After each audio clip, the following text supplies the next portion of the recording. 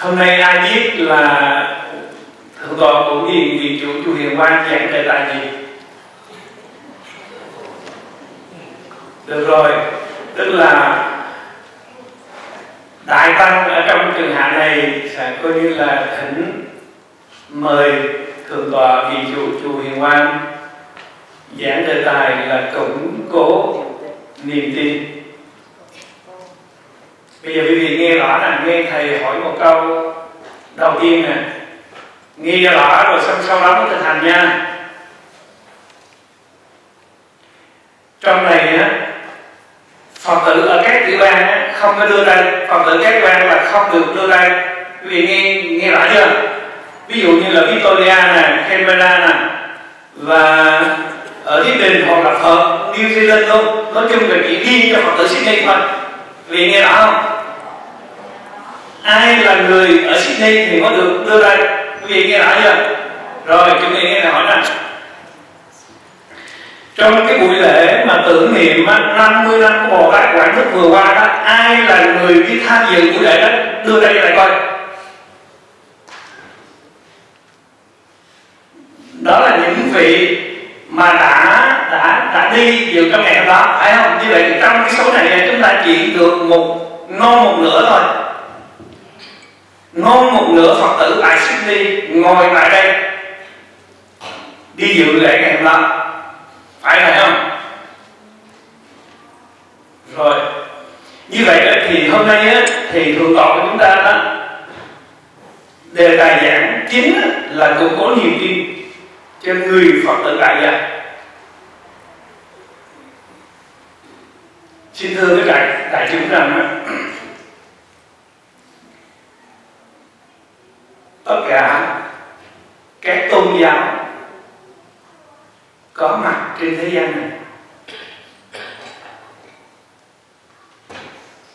Chúng ta không thể tính hết là bao nhiêu tôn giáo nhưng mà theo quý thầy biết rằng là có thể trên một trăm này trên một trăm tôn giáo khác nhau. Chúng ta nên nhớ rằng tất cả các tôn giáo có mặt trên thế gian này không phải là để xây những ngôi chùa nguy nga như thế này. Không phải xây những ngôi đền thờ rộng lớn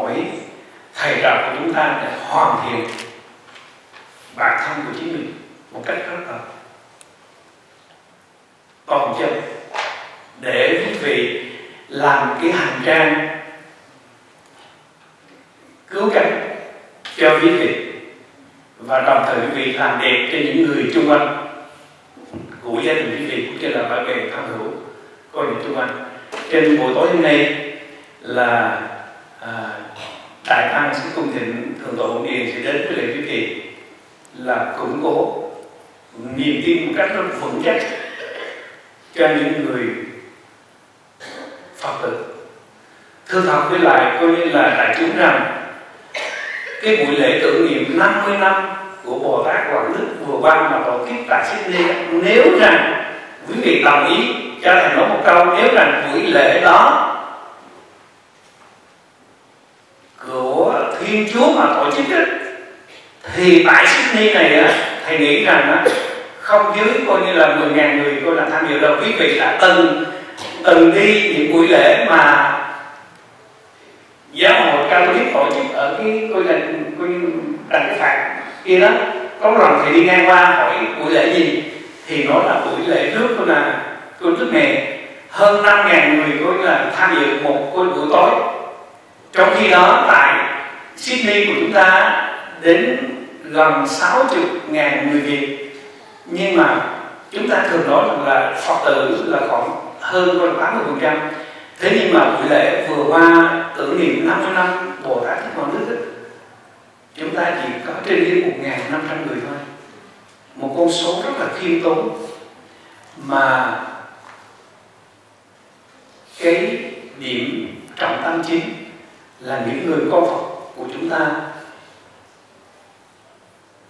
chưa có một niềm tin vững chắc như là những người cô chiên của Thiên Chúa. Thưa thật với lại đại chúng rằng á, quý vị có thể biết rằng mỗi một năm như vậy á, giáo hội của chúng ta trên toàn hai ba chúng châu á, quý vị có biết rằng chúng ta mất bao nhiêu bao nhiêu con em Phật tử của chúng ta qua con đường coi như là hôn nhân vì giao tức là điểm đó để cho chúng ta thấy rằng niềm tin trong gia đình của những người con Phật của chúng ta không vững chắc cho nên là con cháu của chúng ta coi như là đổi đạo, qua con đường hôn nhân, rất là nhiều trong một công năm cho nên đề tài chính hôm nay là thượng tọa sẽ đưa cho quý vị thấy rằng một niềm tin rất là vững của những người con Phật ở cái giai đoạn coi như là những liên này chúng con xin thành tâm cung kính thượng tọa đăng đăng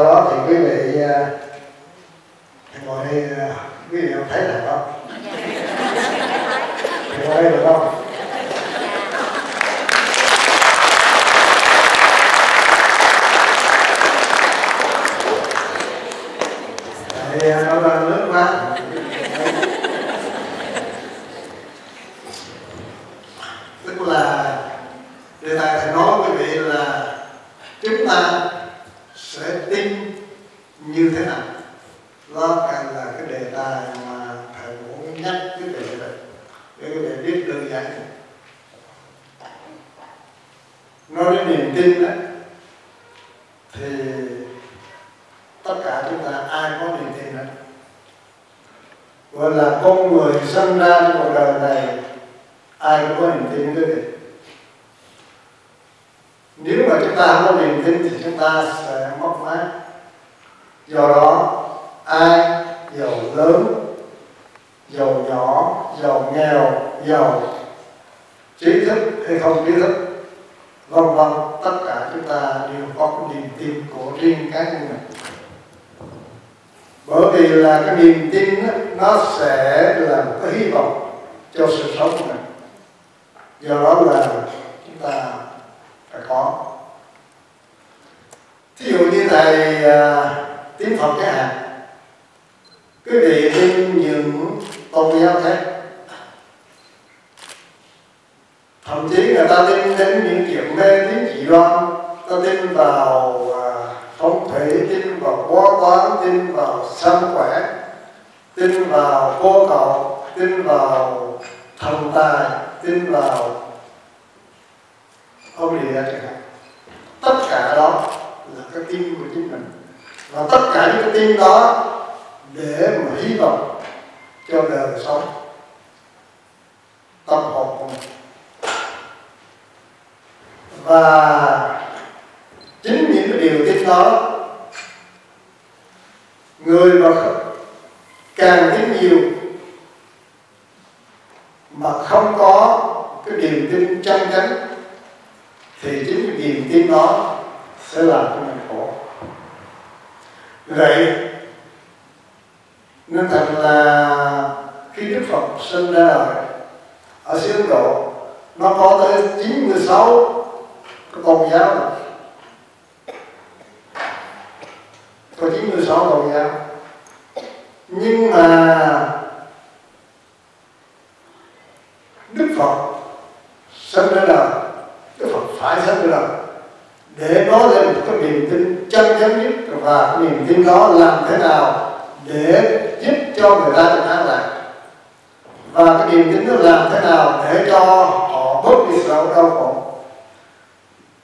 Chứ không phải là quý vị nói rằng là không phải là niềm tin nào cũng là là tốt thường Việt Nam chúng ta thường nói rằng là đạo nào cũng tốt niềm tin nào cũng tốt có tin là có.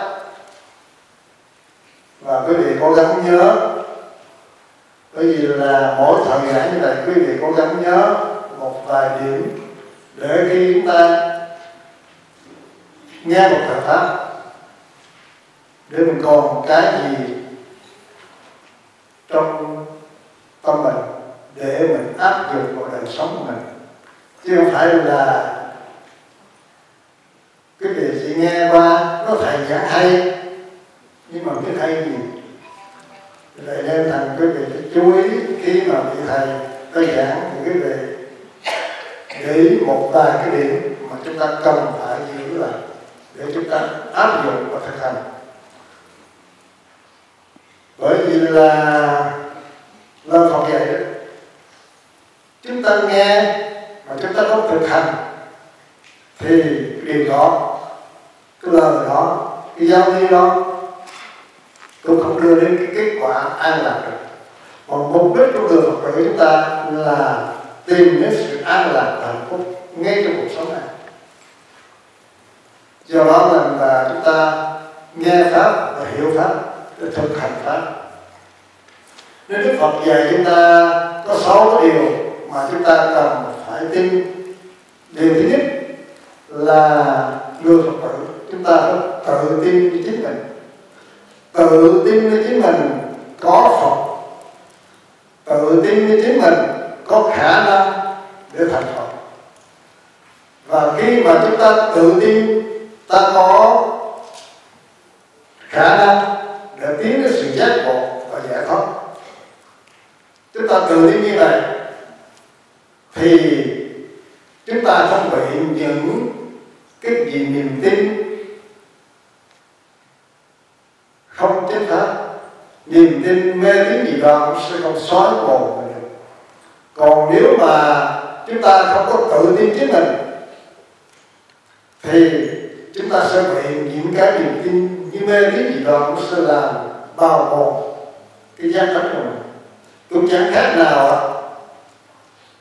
Nhiều người, nhiều phật tử, quý vị vừa tin phật, nhưng mà vừa tin bói toán ngày à, giờ tốt xấu tin phong thổ phong thủy, vân vân và vân vân. Cũng chẳng khác nào quý vị trồng cái bồ đề đó. Và cái bồ đề nó sẽ bị những cái chùm gửi, nó bám vào. Và chính những cái chùm gửi đó, nó sẽ từ từ nó hút những cái chất liệu sống của cái bồ đề. Và cái bồ đề đó sẽ chết thì cũng phải. Người phật tử chúng ta tin phật, nhưng mà không có tin một cách sâu sắc. Tin phật rồi, Phật vẫn còn tin vào cái chuyện mê tín gì đó tin vào ngày giờ tốt xấu thì những cái chất liệu đó, nó sẽ bào mòn cái giác tánh của mình, cái phật tánh của mình và từ từ, cái phật tánh đó cái phật tánh sẽ biến đi trở thành tà pháp. Cái chánh pháp, nó từ từ, nó biến thành tà pháp, thưa quý vị. Vậy nên là người phật tử phải có một cái niềm tin chân chánh về tự mình, tự tin lên chính mình. Đức phật dạy rằng là các con hãy tự thắp lúc lên mà đi. Các con hãy tự nương tựa nơi hải đảo chính mình. Các đức phật các biên lai chỉ là vị thầy để hướng dẫn, chỉ cho chúng ta đi đến con đường thôi vậy nên thành là người phật tử, chúng ta phải tin như vậy. Tự mình có khả năng đi đến sự giác ngộ và giải thoát, và tự mình sẽ có sự an lạc và hạnh phúc. Cái sự an lạc và hạnh phúc của người phật tử không có cao xa gì quý vị ngay trong đời sống của mình ngay trong bữa đi chùa của, của chúng ta cũng như là vừa rồi quý vị. Vừa rồi quý vị còn thở cơn xong và quý vị để ổn định để chúng ta có một bài gọi là nghe một thời pháp thoại nhưng mà chỉ như chỉ có mấy trăm người nhưng rất là độc chúng ta phải nên quán niệm để những trong những hoàn cảnh như vậy, chúng ta cố gắng làm thế nào dầu cho đông người nhưng nó luôn luôn yên tĩnh và chính những hành động, chính những lời nói, chính những tư tưởng sẽ giúp cho mình có một con nội lực. Mình bước đi, mình nói lời nào, mình suy nghĩ điều gì, nó luôn luôn trong chánh niệm còn nếu chúng ta không biết dụng con thì nó bị luôn luôn bị tán loạn và ta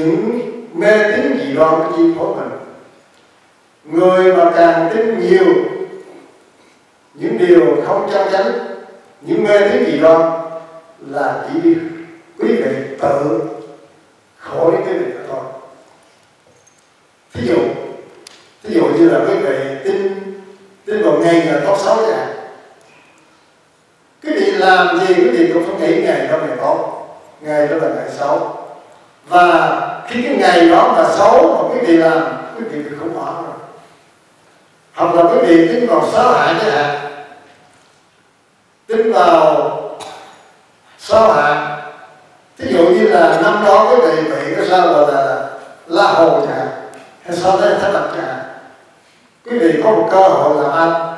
Nhưng quý vị cứ tưởng tượng mình năm đó thì xui xẻo không không phải làm thì nó sẽ mất cơ hội. Nhưng thực sự ra tôi hỏi cái phật tử là quý vị có biết con sao là cái gì không? Trong chín con sao la hồ thủ tướng la hồ à, thấy mà la hầu thì rồi thủ có à, thọ tố thái bạch thái dương và ở cái đôi theo một cái chiến, con sao. Và trên cái thế gian này là 7 tỷ người, hơn 7 tỷ người. Thì đâu ai tin được hết đâu. Vì nên thành là người của chúng ta không nên tin những chuyện mê tín gì đó và khi chúng ta không tin như vậy, ta sẽ đạt được, ta gặt hái được những cái điều tốt đẹp trong đời sống của mình. Rất là an lạc và hạnh phúc. Còn nếu càng tin nhiều, càng lo nhiều, càng sợ sệt nhiều, chỉ là tự mình. Chuốc lấy sự khổ của chính mình thôi. Nên thành người phật tử, chúng ta phải tự nỗ lực, tự tin chính mình. Và có nội lực của chính mình, để chuyển hóa được tất cả những nghiệp lực của mình mình phải tự mình để chuyển hóa tất cả những nghiệp lực của mình. Mình có sự mốt để đạt được xa lắm cái niềm tin thứ hai là tin. Hoặc là tín tha cũng là tin vào người khác và tin vào rằng các đức phật trong mười phương và gần nhất là đức phật thích ca mâu ni của chúng ta. Ngài cũng từ một con người ngài có thể tiến lên một địa vị giác ngộ. Đức phật đến với cuộc đời này với tư cách của một con người. Như một con người thấy rõ được bản chất đau khổ cuộc đời để có thể được từ bỏ được sự đau khổ từ bỏ được tất cả những cái ham muốn, những cái dục vọng như cuộc đời, buông bỏ được tất cả để đi tìm cái nguyên nhân đưa đến sự đau khổ để trở thành một bậc giác ngộ, trở thành một đức phật. Vậy nên là trong chúng ta, ai cũng có thể khả, có khả năng để thành phật. Đức phật đó là ta là ta thành chúng sanh là phật sẽ thành vậy nên là người phật tử, dưới mắt của mình, tất cả mọi người, tất cả mọi loài đều là những phật sẽ thành vậy nên thành là người phật tử luôn luôn mở cái tâm và hướng tâm, luôn luôn kính trọng và tôn trọng tất cả mọi người, tất cả mọi loài. Bởi vì chúng ta kính trọng một con người, kính trọng một kiếp sanh có nghĩa là chúng ta kính trọng một đức phật trong tương lai. Dưới mắt mình mình không nên có một cái tâm khinh chê một người nào không nên khinh chê một chúng sinh nào, bởi tất cả đều sẽ là đức phật. Ta tin như vậy, thì ta thấy rằng tâm hồn mình rất thoải mái. Ta nhìn đâu xung quanh mình cũng là phật hết. Ta nhìn đâu ta cảm thấy là an lạc hết. Ta nhìn đâu ta cảm thấy là người thông thương hết. Còn nếu không, thì chúng ta nhìn đâu cũng thấy là khúc mắc sự phiền não, sự tranh giành, sự hơn thua. Rồi nên là người phật tử tập cho mình mở rộng tấm lòng mình. Quý vị không quán niệm, không tư duy, thì quý vị có cộng một ngàn bài kinh niệm hàng ngàn cái hiệu học ngồi thiền hàng hàng hàng giờ. Trở thành vô nghĩa nếu quý vị không tự quay lại chính mình và quán niệm từ chính mình và cái thực hành chính mình, người phật tử, những con gia, những những tín đồ còn con gia khác tức là người ta quay bên ngoài quay bên ngoài để mà hướng tâm, để cầu một cái đấng thượng đế đất sáng tạo bên ngoài. Người vì đó sẽ có quyền ban ơn và cứu khổ cho mình. Nhưng mà đối với phật tử chúng ta chúng ta phải tự quay về chính mình để thấy rõ được cái Phật trong chúng ta thấy rõ được cái, cái sự giác ngộ trong chúng ta quay về chính mình để thực chuyển hóa chính mình tư duy và thiền định để làm sáng cái Phật tánh cảm giống giác ngộ thì chúng ta mới được an lạc nên thành là người Phật tử, chúng ta phải có một niềm tin như vậy. Thì mình cảm thấy mình có đời sống rất là hạnh phúc. Sự hiện diện mình nơi nào cũng sẽ đem đến sự bình an. Lời nói mình nói ra sẽ đem đến sự an lạc cho cho mọi người. Hành động mình làm ra sẽ mang lợi cho cho thả nhân. Và muốn được cái đó chúng ta phải tự nỗ lực chính mình. Tự thực hành chính mình. Cái thực hành đây nó rất là đơn giản. Không, người phật tử không có gì là là ghê gớm lắm quý vị. Phật không có trên trời cao, phật không có dưới dưới lòng đất, mà phật trong cái đời sống quý vị. Quý vị sẽ sống với gia đình quý vị. Quý vị thể hiện được tấm lòng của đối với những người xung quanh với vợ mình với chồng mình với con mình với những người thân thương, mình đem cái thân giá của mình, tức là mình đem cái đời sống đạo của mình để trang trải đối với người xung quanh.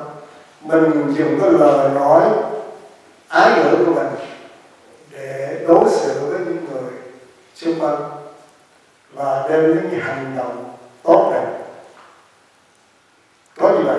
để mình cảm hóa những người xung quanh mình. Và người ta chỉ cần nhìn cái hành động mình, nhìn cái đời sống đạo mình, sẽ cảm hóa được cái người khác.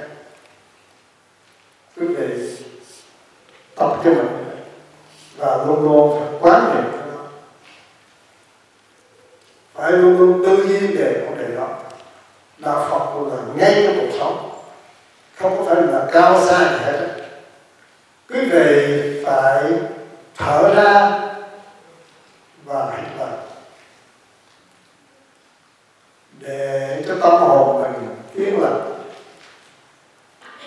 tâm hồn yên lặng thì Phật sẽ hiện trong tâm mình tâm hồn mình dao động bị ảnh hưởng của phiền não với sân hận thì Phật sẽ không bao giờ có được quý vị dù quý vị có trải ra hàng giờ hàng ngày đi vào kinh cầu nguyện Phật không bao giờ có nên khi nào tâm mình tịnh thì Phật sẽ hiện khi mà tâm mà tịnh rồi thì quý vị làm một việc gì cũng đều là Phật sự hết quý vị làm một điều gì cũng giúp cho quý vị đến với sự an lạc không cần phải làm chuyện to làm chuyện lớn quý vị chỉ cần đốt một cây nhang chỉ cần tới chùa tết chùa một cái chùa quý vị chỉ cần lau có bàn hay là quý vị giúp cho người nhà mình ở tại nhà chẳng hạn mình làm với cái tâm thương yêu thì tự nhiên tâm mình lắng động và dù mình làm ở nhà hay làm tại chùa cũng đều là thật sự quý vị còn nếu quý vị làm tại chùa này quý vị làm thiệt nhiều quý vị cúng thiệt nhiều nhưng mà trong cái cúng đó, đó nó mang nhã cái bản nhã bên trong này quý vị làm thật nhiều nhưng mà trong cái làm đó nó có nhã đó thì chính cái việc làm đó những đồng tiền đó những công sức đó là chất liệu của phiền não không có đâu là không có giải thoát không có giải thoát chút nào cho quý vị có làm suốt đời. Công đức đó chỉ đi một chút xíu thôi.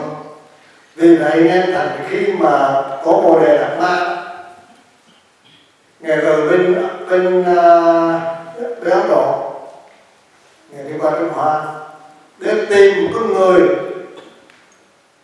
trao truyền cái diền mối mối đàn. Nhưng ngài đến xứ trung hoa suốt cả một thời gian dài tìm người ta. Hết và thời đó ông vua tương hòa đế đó thì ông rất là bồ đạo ông tiếp tăng độ chúng ông nuôi hàng ngàn tăng chúng. Cái việc tưởng là nước trung hoa hồi đó nó lớn hơn bây giờ nó luôn cả là các nước như là ba chức tâm rồi là anh là ấn độ rồi. Nhưng mà trung hoa là mấy nước là, là còn lớn hơn bây giờ. Nuôi hàng ngàn tăng ni và xây hàng ngàn ngôi chùa. Nhưng ông có ông tới, ông gặp tổ bồ đề ma, ông nói rằng là tôi là vua. Nhưng với cái tâm của tôi rất ngộ đạo muốn phục hưng Phật giáo. Tôi đã làm được điều này. Nuôi hàng ngàn tăng ni trong ngôi chùa do tôi xây dựng, thì tổ thấy rằng tôi phải có sự giải thoát không thì tổ nói rằng theo tôi sẽ có gì hết quý vị thấy đó, một ông vua là hàng ngàn cái chùa, đức độ hàng hàng ngàn trong đây, nhưng mà tổ thì nó là có gì trơn. So với mình, so với tất cả chúng ta chúng ta làm được cái gì đâu thì nếu nếu mà ta làm có cái bản ngã trong đó, thì cuối cùng có gì hết không có gì hết quách diên vô thắng chẳng có gì giải thoát đâu đó bởi vì ông vua ông làm vì cái dân đó. Cái bản ngã của ông nên thành những việc làm đó, nó không có phải mang trước cái chất quyền gì thoát. Thì này nên là ông có làm suốt đời ông nữa thì họ không giải thoát được tâm ông còn vướng vào vướng mất tất cả những cái việc làm của mình chúng ta chỉ cần làm một việc nhỏ thôi. Nhưng với tất cả tấm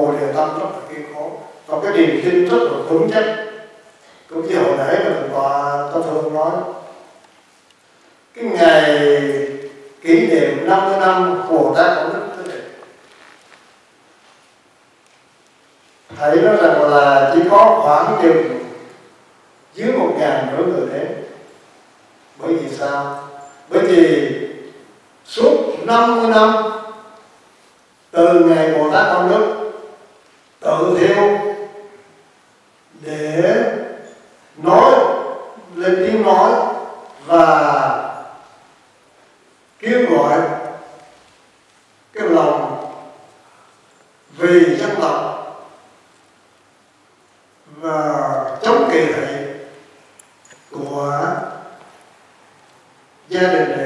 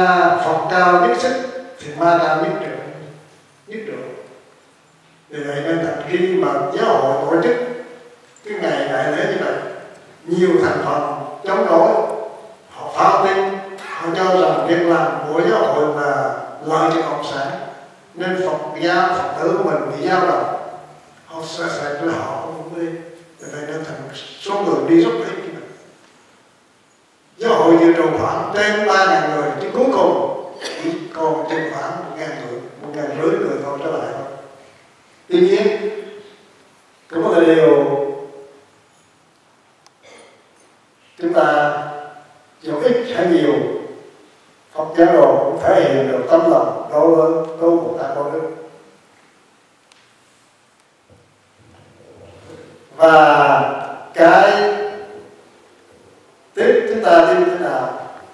Hai là quý vị, tín tự, tín tha là tự tin mình có khả năng làm Phật. Và tin rằng các đức Phật cũng tự chính ngài cũng tự cái tâm này để tiến lên để giác ngộ cái thứ ba là chúng ta tin vào nhân và quả cái nhân quả là cái giáo lý căn bản người phật tử chúng ta nên nghiên cứu và nên học hỏi về cái giáo lý này. Giáo, giáo lý nhân quả cũng giống như là bóng của hành người quý vị. Hãy cái gì có nhân gây nhân thì quý vị sẽ có quả. Cũng như có vị có cái hình là hình thì, thì quý vị sẽ có bóng. Hãy hình đâu thì bóng đó nhân đâu thì quả cái đó là điều tất yếu mà. Khi mà chúng ta tin vào nhân quả rồi thì quý vị quý vị tin sâu vào nhân quả rồi thì lúc đó quý vị sẽ không còn tin khác. Quý vị sẽ rất là an lạc, rất là hạnh phúc. Quý vị không sợ sệt gì hết á. Quý vị tự tin cho chính mình. Quý vị lúc đó sẽ không sợ ngày giờ không sợ sợ mình là ngày xấu đối mình quý vị cũng không cần ngày tốt cũng không ngày xấu. Hầu hết tất cả tất chúng ta đều là tin ngày và có xấu. Hết phải không? Tất cả mọi người dương như vậy. Tôi coi cho hàng trăm, không có toàn hàng ngàn hay hàng ngàn người không. Tới giờ thầy coi ngày giờ có xấu. Nhưng mà thật sự chính thầy thầy có biết là ngày đó là ngày xấu, ngày tốt rồi đó nhưng bởi vì là mấy người muốn thầy phải lập cái, cái sách ra thầy là thầy coi cái gì thôi. Thầy có biết ngày đó tốt sao bây giờ rõ cái gì? Thầy nói là ngày hôm nay là ngày tốt. Cái gì tin không rồi đó là thầy, thầy nói là ngày hôm nay ngày xấu cái gì tin không và một chút tức là tóm lại là chúng ta không biết tốt xấu bây giờ tôi hỏi quý vị là, mình nói là ngày hôm nay là ngày tốt. Ai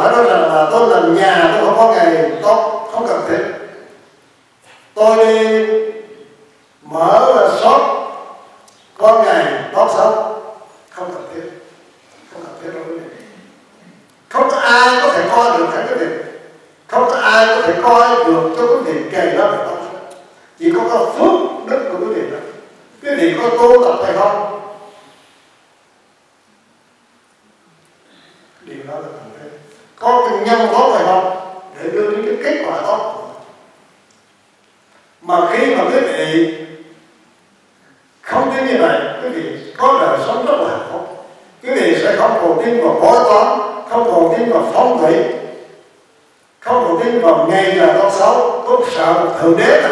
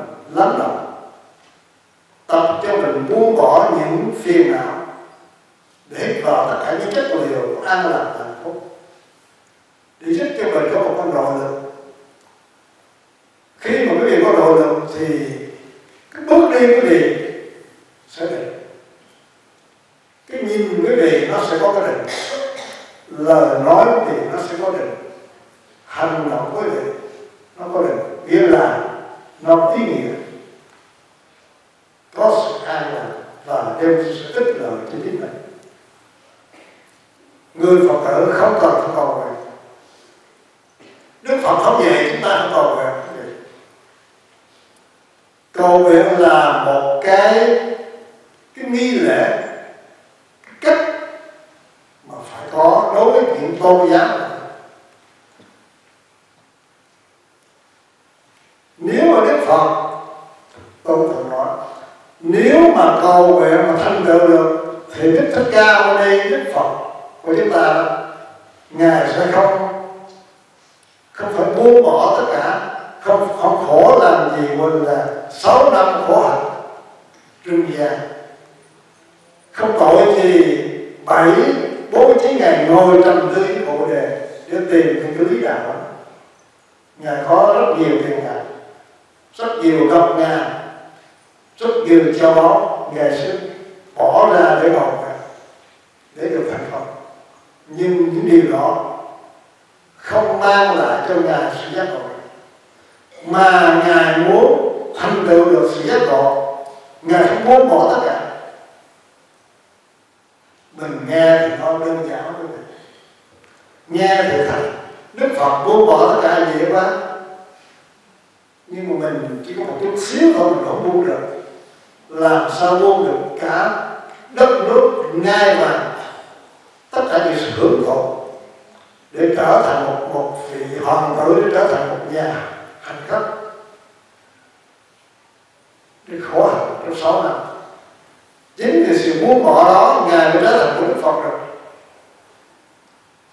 Chúng ta không muốn bỏ được nên thành, không thành phật được chúng ta, cái lời nói mình cũng đã chưa buông được, cái chỗ ngồi mình chưa buông được ý niệm mình cũng đã chưa chưa buông được, làm sao mà buông được những cái trong tâm chính vì vậy nên là bồ tát gọi đức kính lễ ngài, tôn vinh ngài rồi bồ tát gọi tức là ngài dám muốn bỏ này. Tự đốt để vì mọi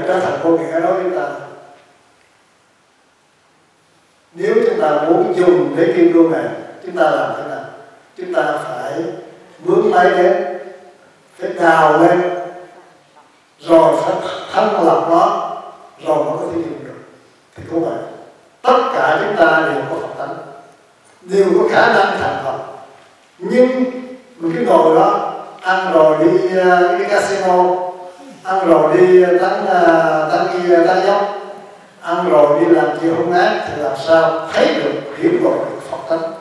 Chúng ta muốn vậy, chúng ta phải thực hành tu tập bằng tự tin vào chính mình và tin vào các đức Phật cũng từ đến cái tâm này mà trở thành Phật.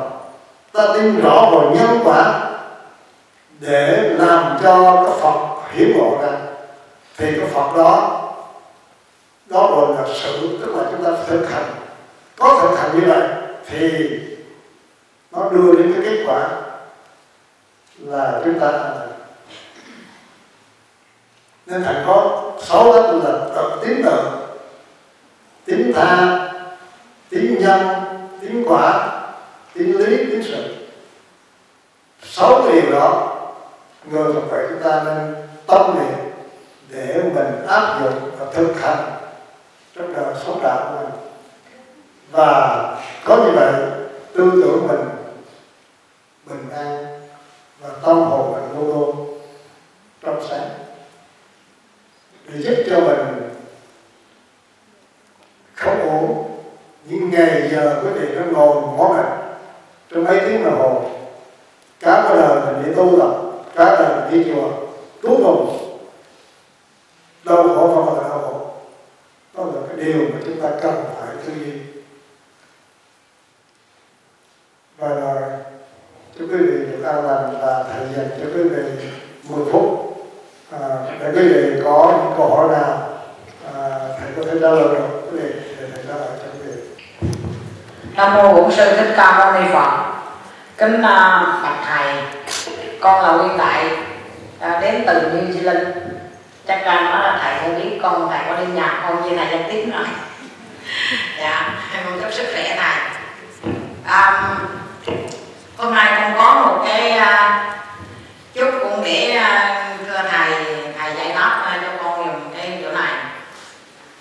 Vì uh, nghe thầy nói là cái mê tín dị đoan đó nó không nằm trong cái tâm của người phật tử nếu mình mê tín như vậy thì nó còn thấy thêm đau khổ cho mình phiền não nhiều nhưng mà thưa thầy, ví dụ ở quê nhà của mình á, Việt Nam thì có nhiều am chùa, miếu am như là cô cậu gì đó, có toán có khỏe gì đó.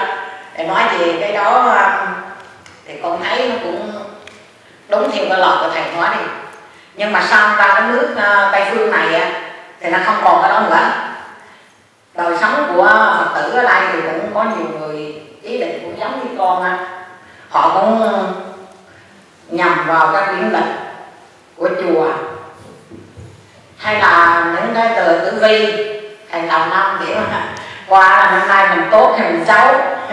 Hoặc là cái ngày tháng như là mình muốn à, đám cưới cho con, dựa vào cái ngày chủ nhật thứ bảy, nhưng cũng dựa vào trong cái quyển lịch của hàng năm, quý thầy ra những cái các chùa để có bản thân phật tử qua dựa theo đó mà nếu như thầy thấy như vậy là nó có nằm trong cái mình mê tín dị đoan hay không?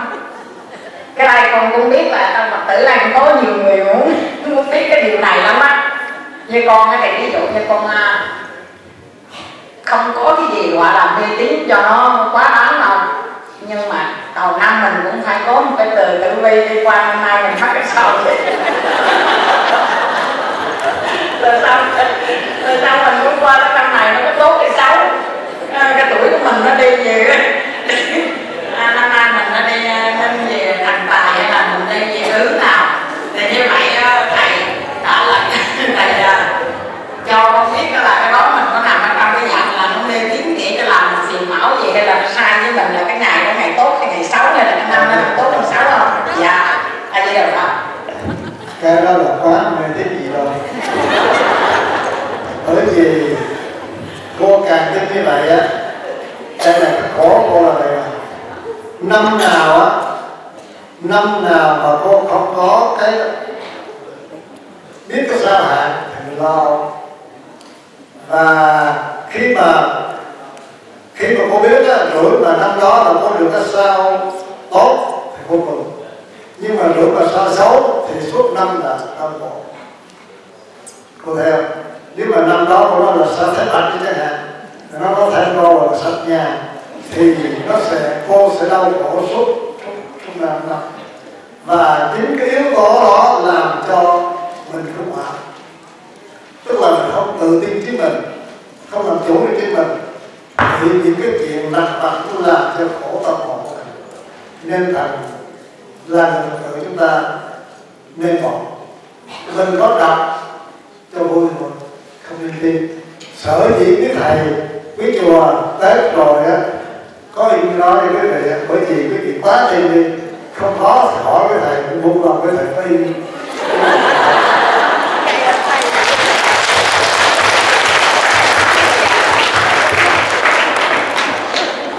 anh như là phật vậy à, tình hai về sau chúng con chắc là không dám mua cái lật đơn lại với lại càng mua thì càng đau khổ nhưng mà mục đích của chúng ta là gì? Người phật tử là phải an lạc hạnh phúc trong một năm. Mà cứ mua đó đập để lo thì thì đi chùa là gì? Nên là không nên mua nữa. Mấy chùa có đáng từ thành mua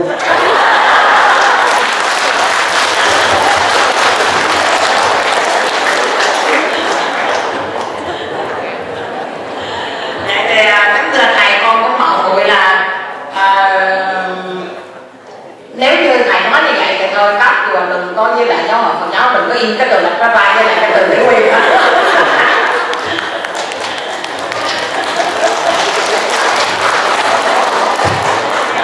có ai hỏi gì không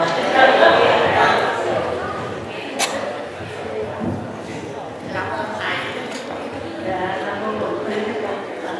À, kính bạch thầy và con cũng à, kính cảm ơn chị Nguyên Đại. À, chị có một cái ờ, cái, cái khí chất của con nhà Phật ấy, rất là dễ thương. Em được ở phòng chị tức là có cái gì là nó lộ ra ngoài hết, không không có gọi là không có màu mè khác sáo rất là dễ thương. Dạ. À, với lại hôm nay à, thầy nhắc nhở các con về cái củng cố cái niềm tin của người về Phật tử đó. thì à, ở trong này ở trong này có thể nói là mình phải tự tin với mình và cái thứ hai tức là mình phải tin vào người nữa tức là tin vào người nữa. mình tin vào người để mà mình nảy sinh ra cái lòng mình hạ thấp cái ngã của mình xuống tin người cũng có khả năng thành phần như mình và để nảy sinh ra cái lòng mình biết tôn kính những người khác nói rõ hơn là tôn kính tất cả các chúng sanh nhưng mà hôm qua hồi con ngồi bên này buổi sáng và đọc cái câu pháp cú của đức phật sáng dạ ở lớp này thì trong cái câu pháp cú đó đức phật dạy là nếu không kết bạn được với người bằng ta hoặc hơn ta thì ta thà sống một mình chứ không kết bạn với người ngu dạ thành ra là với lại cái thứ hai nữa đó là cái câu hỏi thứ nhất của con dạ ừ, xin thầy giảng rõ hơn con cảm thấy nó có một cái gì tại vì cái trình độ cái cái trình độ của đức phật nó khác với lại trình, trình độ của chúng ta các con thành ra là chúng con vẫn cái thực hành nó, nó rất là khó và cái câu hỏi thứ hai nữa của con á thì chính từ cái câu nói là mình phải tin vào tôn trọng người khác cũng có phật tánh cũng có cái sự chuyển hóa dù người ta cùng hung thực ác đến như thế nào người ta cũng có cái sự chuyển hóa. À, xin trả lời hai câu đó. Ừ, tuy nhiên chắc chắn là trả lời thì à, có đồng vẹn hay không? Thì thứ nhất đó, tức là con pháp cố tức là chúng ta làm bạn không nên là bạn như người ngu. Cho con nói vậy không? Cho đây nè. Đức phật nói lòng là à, nhất thiết chúng sanh về hữu phật tánh. Mà là tất cả chúng sanh chúng sanh đây là đến từ các vị thánh nhân cho đến bò bay đến ngựa đều có cái chết tánh. Như nhau, đều có thể đi đến sự giác ngộ tuy nhiên, mỗi một chúng sanh, mỗi một con người có một công nghiệp lực khác nhau. Và chúng ta trong trong trong cho, trong ờ, cái nói rằng chúng ta làm bạn, tức là cái khả năng của mình mình nói chung là chúng sanh là đều có phật tánh. Nhưng mà khi chúng ta học hỏi thì có phật tánh là phật tánh chung nước rồi và khi chúng ta làm tạng thì ta đã muốn thăng hoa cái cái phật của mình. Thì mình phải tìm cái nơi nào cái duyên nào nó giúp cho mình thăng hoa được cái hạt giống phật. Thì chúng ta nương vào cái duyên đó. Chứ còn nếu mà mình cứ nói dụ như là à, chúng ta có hạt giống mà mình đi đến à, mình lấy cái duyên xấu mình à, rồi mình có cái nhân Phật nó rồi bỏ trên nơi nào rồi là, là, là không tưới nước không bón phẩm nó thì cái hạt giống trở thành hư hoại thôi. Rồi nên thành mình có tìm cái nhân nào cái duyên nào cho tốt để mình nương tựa chứ? Thấy không? mặc dù tất cả đều là có hạt giống nhưng mà mỗi hạt giống nó có cộng nghiệp và biệt nghiệp riêng cái biệt nghiệp đó là chúng ta phải tự tìm cái duyên tốt để chúng ta nương tựa và đức nghe Đức Phật nói rằng chúng ta mặc dù tất cả chúng sanh đều có khả năng thành Phật nhưng mà mình muốn nuôi lớn cái Phật của mình mình phải tìm cái duyên tốt.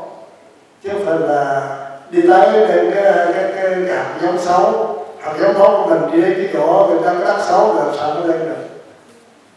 Mình phải đem hạt giống của mình trồng vào cái đất tốt thì nó mới lên được nhé.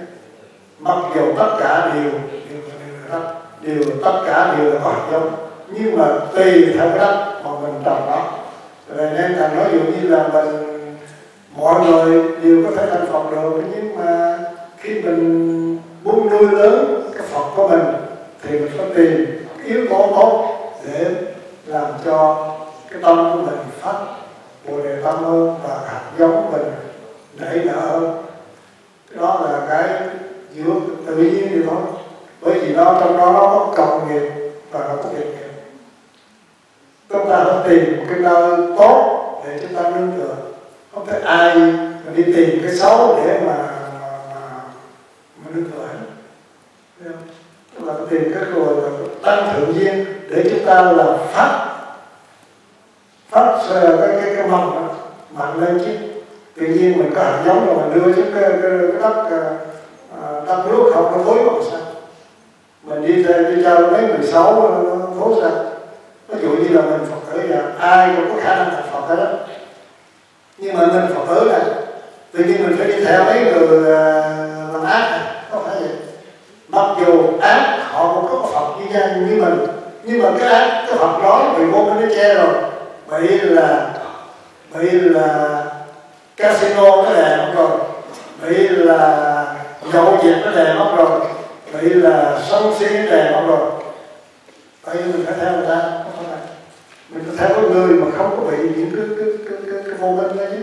Mình phải đi theo cái sáng suốt để mình mình bồi dưỡng cái phật tánh của mình. Tiến lộ mặc dù họ không có phật tánh nhưng cái phật tánh họ bị đè rồi. Mình phải theo được à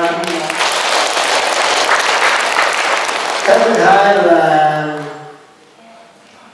cái thứ hai thì đấy nó cũng ờ, thật sự tức là nói rằng là ờ, tại Phật giáo Việt Nam làm uh, tổ chức tưởng niệm Bồ Tát Quan Đức rồi Phật giáo tại Úc tị nạn cũng làm chê là mình tiếp tay. Không phải vậy không phải vậy. Không phải đâu. Ông già tôi chết đấy tôi có hai hai người hai người con một đứa ác và một đứa thiện. Đứa nào nó không có ông già hết chẳng này này là là cái thằng ác là thằng thiện. Đúng rồi mà nó là hai thằng nó như nhau đó không phải là không già không già bồ tát đạo đức là vì đạo pháp đã bỏ cái thằng mạng này thiếu thằng mạng này để bảo toàn Phật pháp. Phật giáo cài lợi chỉ tưởng niệm cái hành động đó là làm có để tưởng niệm ngài tri ân tri uh, tri niệm có đức ngài thôi còn việc việc cộng sản có lợi dụng hay không lợi dụng chỉ vào Việt Nam còn biết người phải rõ cũng như là cha tôi chết có thành ở Việt Nam có thành cộng sản nó cũng tôi đây tôi cũng không vậy là tôi với tôi với thằng, thằng, anh ở Việt Nam cộng sản cũng như nhau đó, không thể cúng cha tôi là cúng cha tôi thôi chứ. Đâu phải cúng cha tôi là đồng hóa với là, là cái thằng anh của Việt Nam là cộng sản rồi rồi rồi, rồi đổ xô tôi đâu. Không phải. Đâu nó là đó. Bởi vì là khi người ta ghét rồi người ta nó ra hốt rồi hả?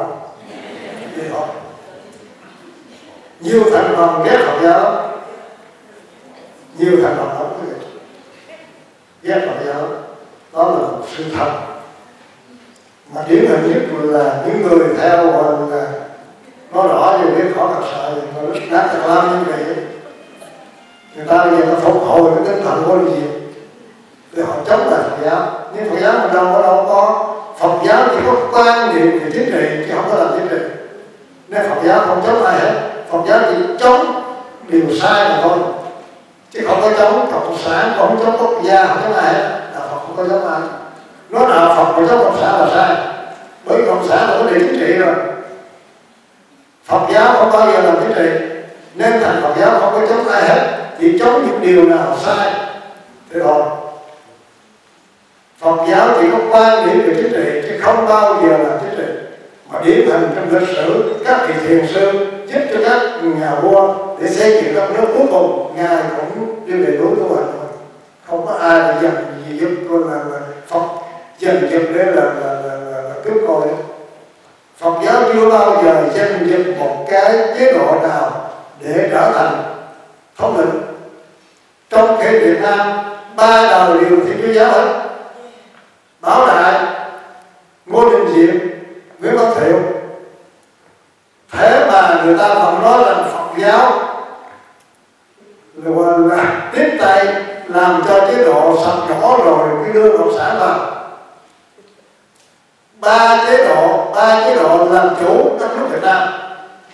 Thế mà Phật giáo không có một cái tất sắc trên tay mà nói vậy có Phật giáo oan cho Phật tử không tội nghiệp mình chứ. Thế thôi đó là sự thật lịch sử. Rồi bây giờ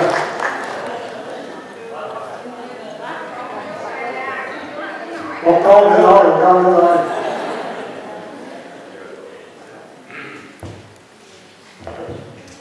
Ok, bà thầy, uh, con xin hỏi một cái câu hỏi này vấn đề về ngày tháng thôi chứ cũng không chào vấn đề hết. Tại vì theo ờ, mình thường á, mình ăn chay thì mình là những người ăn à, à, dựa vào lịch ví dụ ngày rằm ăn ngày tháng một tháng hai bữa thì ngày rằm hay là ngày uh, 30 một cái tôi quên rồi à, mỗi ngày ví là à, vài ngày vậy đấy. Rồi à, lễ Phật cái thì 30, mùng 1 hay là 14 rằm. Thì tại sao con xin hỏi tại sao mình không à, coi ngày nào nó cũng đẹp nó cũng tốt hết? Nếu mà tin là tốt tại sao mình phải dựa vào những ngày đó để mình lại phải à, thầy giải thích cho tại sao Nếu dạ, thầy có thể đứng về thật ra là con đó cuối cùng câu đó nó rất, rất là hay. Có nhiều người nói rằng là ăn chay ví dụ anh chay bốn ngày đi thì ờ, đầu tháng là trong một hai ba bốn xong rồi. Có gì phải cả tính là ngày bữa nay rằm. Mà đối bữa rồi mùng tám cái bữa là hôm ba cái hôm bốn chi nhưng mà gì chỉ cho nhớ nhưng mà gì nhưng mà quý vị biết là cái nhớ đó mới gọi là ăn chay đó quý vị nhớ ngày đó quý vị ăn chay mới gọi là ăn chay đó. Chữ chay tức là nó biết nó biết nó nó, nó trại là chữ là từ chữ trai. Mà trai giới mà trai tức là thanh tịnh. Mà thanh tịnh tức là chánh niệm. Thì nên thật chúng ta phải nhớ ngày đó chúng ta chay thì chúng ta trở về cái chánh niệm của mình biết rằng ngày đó chúng ta chay đó thì ngày đó chúng ta chay để tập mình thiền định. Mà cái cốt lõi cái đầu là gì là phải có chánh niệm, phải có thiền định, mới có thể đạt đến sự an lạc hạnh phúc được. Ăn chay để chúng ta đạt đến thành nhớ ăn hai ngày phải nhớ ngày nào đến ngày nào. Ăn bốn ngày phải nhớ ngày nào. Ăn năm ngày phải nhớ ngày nào. Nhưng thầy không nhớ ngày nào luôn.